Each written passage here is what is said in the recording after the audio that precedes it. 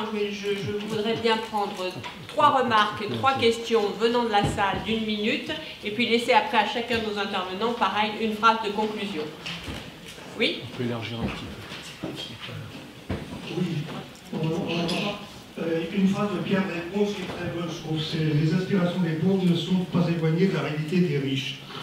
Je pense que notre erreur à, à la gauche, c'est qu'on analyse mal le stalinisme et qu'on le confond avec le communisme. C'est pour ça qu'on cite très peu Jaurès actuellement, y compris dans cette salle, et qu'on oublie que Jaurès était pour la République sociale et qu'il n'a pas été ministre, il a toujours été député et responsable de l'international. La question de la hiérarchie des normes, je suis très lié à la hiérarchie des normes, puisque mon grand-père a fait signer les accords de Matignon. Et il ne faut pas oublier qu'il y a une grande engueulade dans le Parti socialiste à l'époque, parce que le Parti communiste, dirigé par certains, voulait laisser encore 8 jours au patronat avant la signature des 40 heures. Or, le patronat, une fois que les 40 heures ont été signées, il voulait les reprendre 8 jours après. Et les 40 heures, vous savez très bien qu'elles ont été appliquées avec un lance-pierre. Nous avons payé la nationalisation de la SNCF jusqu'en 2002. C'est toujours les travailleurs qui payent. Alors je trouve que, moi je pense que c'est refonder le socialisme qu'il faut, et pas se poser le problème de la gauche ou d'un gouvernement de gauche énième.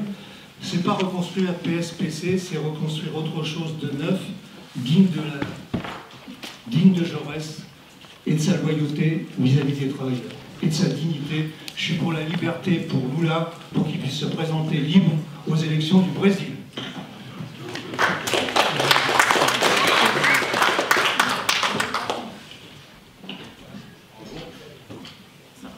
Bon, je souhaiterais euh, rebondir sur euh, la- l'intervention de, de- de Concernant le, déversement et, notamment les, créations d'emplois dans les services, euh, avec un, très court témoignage. Je suis directeur général d'une grosse structure d'aide à domicile public euh, et, euh, et aujourd'hui on, sent bien le besoin, on sent bien les potentialités de création d'emplois, mais ce qu'il ne faut pas oublier c'est Aujourd'hui, ces emplois ne sont pas attractifs et aujourd'hui, ces emplois ne paient pas et ne rémunèrent pas et ne permettent pas d'avoir des salaires de subsistance. Et ma, question, un peu, très, large et très ouverte, et, j'en suis désolé, c'est quels moyens aujourd'hui on a pour euh, se battre contre ces trappes à bas salaire et contre cette situation où, euh, finalement, euh, manifestement, le, le marché du travail avec des gros guillemets ne fonctionne pas. Et que même dans des situations de pénurie, même quand on voit que euh, O2 dans le nord de la France a récemment publié 600 CDI et a eu 10 candidatures, même dans des situations de pénurie, la réponse, ou en tout cas la réponse politique, elle n'est jamais de dire l'évidence, qui est euh, quelles augmentations de salaire on fait, comment est-ce qu'on organise la valorisation du travail et des travaux utiles pour la société euh, par rapport, euh, par rapport aux, aux- aux- aux travaux inutiles ou, ou, ou anti, euh, ou anti-utiles qui euh, sont eux valorisés. Merci. Merci, madame. Oui, euh, on, a, évoqué dans le sens du travail euh, le subvenir aux besoins primaires, enfin tout ce qui a été énoncé tout à l'heure. Euh, moi, je pense qu'aujourd'hui, il y a aussi beaucoup, notamment des jeunes, qui se posent la question du sens de leur travail, est-ce qu'il est utile?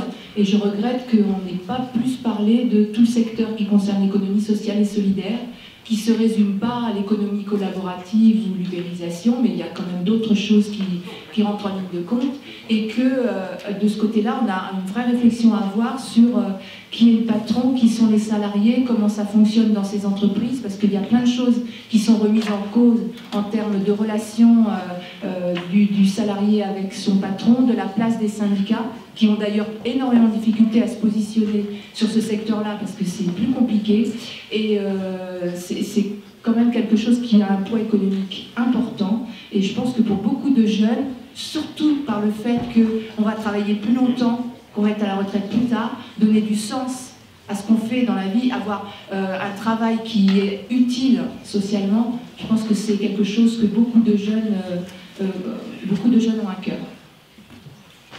Monsieur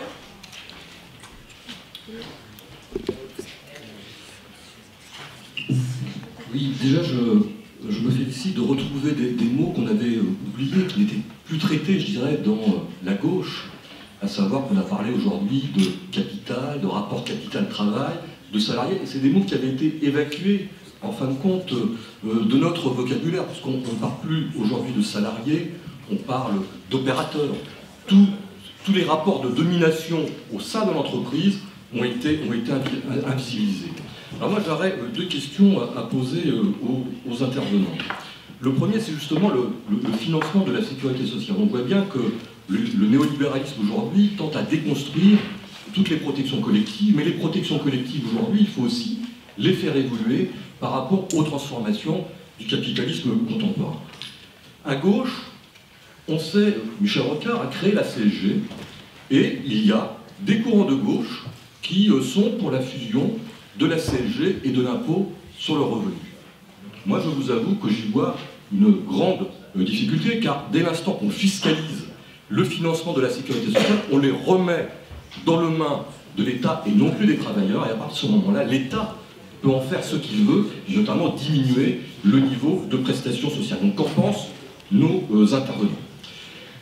Que pensent nos intervenants de la sécurité sociale professionnelle par rapport justement aux transformations juridiques du salariat aujourd'hui il y a un certain nombre d'organisations syndicales qui défendent l'idée d'une sécurité sociale professionnelle qui permettrait justement eh d'absorber les différents aléas que peuvent connaître les salariés aujourd'hui qui peuvent alterner des périodes de chômage, des périodes d'emploi plus ou moins précaires, voire totalement précaires. Et troisième question, est-ce que la réduction de la durée du travail est une chose qui est aujourd'hui tabou à gauche? C'est vrai que sur le revenu universel, euh, je suis, j'y suis pas favorable parce que je pense qu'il y a une lecture très libérale euh, du revenu universel et que euh, pour le mettre en place, ça nécessiterait un rapport de force au sein de la société que justement les salariés n'ont pas. Mais si on ne va, si et que le revenu universel quelque part sonne le glas d'un retour à l'emploi et un emploi utile et qualifié pour le plus grand nombre. Donc, quid de la réduction de la durée du travail, qui peut être évidemment pensée comme une réponse au développement du chômage et de la précarité, mais pas que. Et ça rejoint la République. Parce que pour participer à la vie de la cité, eh bien, il faut avoir du temps pour se consacrer à des mandats politiques, sociaux, pour s'investir dans son quartier, il faut du temps. Et la réduction de la durée du travail, ça participe à la fois à des réponses contre le chômage, mais ça répond aussi à la problématique de l'émancipation des citoyens dans la société. Merci. juste une petite réflexion qui va un peu rebondir sur la réflexion de, notre camarade tout à l'heure. Je suis désolée, monsieur Kella euh, David, euh, je ne suis pas économiste, j'ai fait des études d'économie à Paris donc j'ai quelques petites notions. Mais là où je ne suis pas d'accord, c'est quand vous dites que euh, l'augmentation de la productivité fait que la main en tout cas à un moment donné, le prix de la main augmente, puisque quelque part, elle se, euh, comment vous avez dit, emploi relationnel, donc euh, avec la théorie du déversement, donc les tâches qui ne peuvent pas être robotisées vont prendre de la valeur. Or, on se rend compte à l'heure actuelle que euh, les tâches qui ne sont pas robotisables sont en grande partie, je prends l'exemple qui a été pris tout à l'heure, du service à la personne. On ne peut pas non, pas encore, la technologie ne permet pas encore, de mettre un robot auprès de nos aînés, auprès de nos enfants, auprès des personnes handicapées pour pouvoir les aider. Or, le taux horaire de rémunération de ces personnes-là, à ma connaissance, n'est pas un taux horaire élevé. Donc effectivement, là, la valeur de la main elle est très très basse. Elle est d'autant c'est que ces personnes-là sont le plus souvent des femmes employé à mi-temps. Employé à la tâche. Ça veut dire que quand elle s'occupe d'une personne pendant une heure, elle est payée. Si elle a trois quarts d'heure pour se déplacer vers la deuxième personne, elle n'est pas payée. Elle ne sera payée qu'une fois qu'elle aura atteint la deuxième personne. Ça veut dire que là, il n'y a pas de valeur ajoutée sur ces travaux-là. Ces personnes-là sont des travailleurs pauvres. Il y a des études qui ont été faites justement en Europe. Euh, j'ai assisté à une conférence euh, cette semaine là-dessus, où ils disent qu'effectivement, il y a un écart de plus en plus important entre la main-d'œuvre qualifiée, à très haut euh, revenu, qui sont souvent employés par des jeunes, voilà, des jeunes cadres dynamiques, et la main-d'œuvre des gens qui ne sont pas qualifiés, qui sont même en dessous de n'importe quelle qualification, qui n'ont pas de qualification. Et l'écart se creuse, et au milieu, il y en a de moins en moins. Donc c'est là où je vais mettre ce que vous avez dit à mal. C'est-à-dire que non, la main-d'œuvre, quand c'est pas robotisable, elle n'a pas forcément une valeur plus importante. Et c'est bien là le problème. Parce que cette histoire de déversement, moi, je pense qu'à un moment donné, là, on y trouve sa limite. Voilà, juste euh, ça. Merci, euh, madame. Je vais essayer de parler fort, il n'y a pas de micro ici. Je veux juste vous donner un nombre, un chiffre, 29 ans, l'âge moyen du premier CDI pour les jeunes en France. Et est-ce que vous pourriez réagir à ce là en sachant que le CDI, ça s'est vu par pas mal d'études en économie, c'est aussi quelque chose que les jeunes ont besoin parce qu'ils ont besoin d'un CDI pour leur logement, pour s'inscrire dans la vie, ça a été dit entre autres par Patricia, pour euh, créer une famille, pour s'impliquer localement et notamment pour avoir envie de voter aux élections locales. Pourquoi les jeunes ne votent pas? Parce qu'ils ne sont pas installés socialement, politiquement, économiquement. Merci.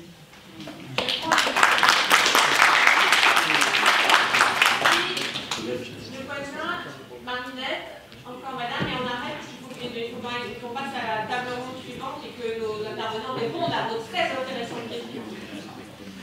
Je voulais juste euh, savoir euh, l'opinion des intervenants sur le revenu universel.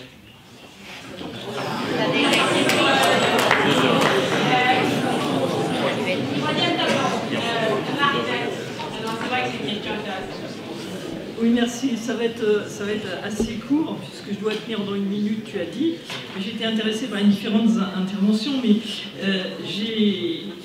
été particulièrement sensible à l'intervention d'Étienne Collin, parce que, euh, étant venu à la politique par le syndicalisme, j'écoute beaucoup cette euh, manière dont, en effet, on a exclu petit à petit les organisations syndicales de l'entreprise, et au-delà, euh, des négociations en fait, de la vie des travailleurs. Ce qui me pose problème, c'est que si les organisations politiques sont dans un sale état, les organisations syndicales sont également dans un très sale état.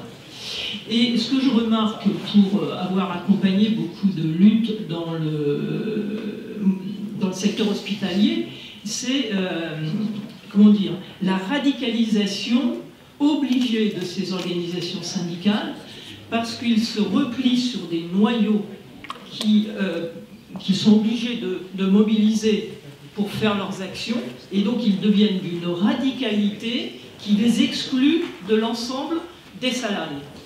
Et euh, autrement dit, euh, la construction du rapport de force n'est plus centrale pour eux. Pour exister, il faut qu'ils aient des actions ponctuelles et qui, les trois quarts du temps, ne débouchent pas euh, sur des victoires. Et mettre les organisations syndicales et même le mouvement syndical dans son entier dans une sorte de régression dans son impact sur la société. Autrement dit, pour moi, étant donné qu'en effet, euh, l'organisation syndicale est l'outil essentiel du travailleur, qui est dans un rapport complètement inégalitaire vis-à-vis de, son patron, hein, euh, là, on est sur quelque chose de central, et donc euh, la question de la construction du rapport de force est pour moi aussi quelque chose de central, et je pense que cela passe par un dialogue plus respectueux d'un côté et de l'autre entre le politique et le syndical, qui a de plus en qui a disparu. Qui a disparu. Merci. Langage qui peut, qui peut se retourner contre nous en fait. Ensuite, il y a deux questions que j'aurais aimé poser. D'abord, dans un certain nombre de mouvements de lutte, notamment sur le logement, dans un certain nombre d'ONG, on entend en ce moment des arguments qui ne sont pas idiots, qui sont loin d'être idiots, qui sont des arguments économiques. Par exemple, sur la politique du logement d'abord, on a de plus en plus d'études qui disent mais regardez, un SDF ça coûte 17 000 euros, euh, alors que s'il n'est pas SDF, eh ben, il va coûter moins parce que les pompiers interviennent moins, parce qu'il est en meilleure santé, etc. J'aimerais savoir ce que vous pensez ou ce que nous pensons, je ne peux pas, euh, on n'est pas voilà, faire de camp, euh, de ces arguments-là. Est-ce que c'est un piège? Est-ce qu'on tombe dans la monétisation, excusez-moi. Et est-ce qu'on doit au contraire absolument s'accrocher à l'idée de un être humain est un être humain et quoi qu'il coûte, c'est ça, c'est la Ou est-ce qu'au contraire, ça peut être un moyen de lutte? C'est la première question. Et la deuxième question, je crois que c'est quelque chose qu'on n'a pas abordé, qui rejoint peut-être la question de l'éducation, de la mondialisation, de l'Internet, c'est que j'entends bien qu'il se construit ici, qu'au et Zéro, un certain nombre de choses, j'entends qu'il y a des idées, j'en partage un certain nombre. Euh, ensuite, la question, c'est pas seulement de parler, c'est comment être entendu. C'est-à-dire qu'on est quand même face à un électorat qui, euh, bon, je ne reprends pas tout depuis 2008, la façon dont sont montées les campagnes politiques, la façon dont sont rythmés les, moments politiques, on est quand même dans une espèce de quelque chose qui serait au-delà de la patouille. Euh, comment être entendu? Y a-t-il un électeur pour nous entendre? C'est un peu la gagnante, mais c'est quasiment ça. Voilà, euh, on peut toujours parler, mais si personne n'entend, c'est un peu.